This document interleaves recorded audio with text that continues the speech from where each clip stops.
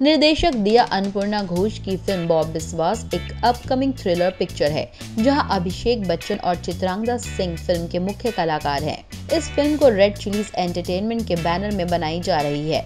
वहीं फ़िल्म की शूटिंग कुछ समय पहले ही कोलकाता में शुरू हुई थी, और अब बॉब विश्वास के शूटिंग का पहला स्केड्यूल पूरा हो चुका है।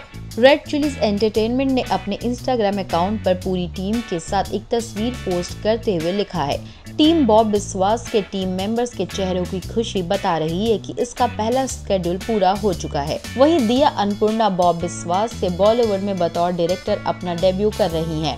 इस फ़िल्म की कहानी एक काल्पनिक किरदार बॉब विश्वास के जीवन के चारों ओर घूमती हुई नज़र आएगी, जिसे 2012 की थ्रिलर फ़िल्म कहानी में एक विशेष कैरेक्टर में देखा गया था अभिषेक बच्चन फ़िल्म में बॉब की भूमिका निभा रहे हैं, जिन्हें बॉब के लुक से मैच करने के लिए फ़िज़िकल ट्रांसफॉर्मेशन से भी गुजरना पड़ा है। वहीं इस फ़िल्म में बॉब के किरदार के लिए अभिषेक बच्चन बेहद उत्साहित और रोमांचित भी है।